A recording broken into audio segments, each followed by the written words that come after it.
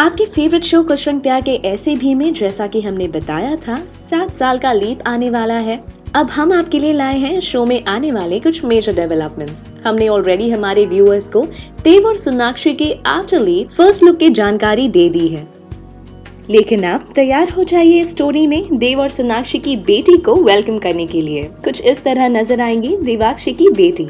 हमने हमारे व्यूअर्स को ये भी इन्फॉर्म किया था कि वो देव और सोनाक्षी की बेटी ही होंगी जो इन्हें एक बार फिर मिला देंगी। तो कैसी लगी आपको हमारी ये स्टोरी कमेंट कीजिए। और टीवी जगत की अन्य चटपटी खबरों के लिए सब्सक्राइब करें हमारा channel TV prime time Hindi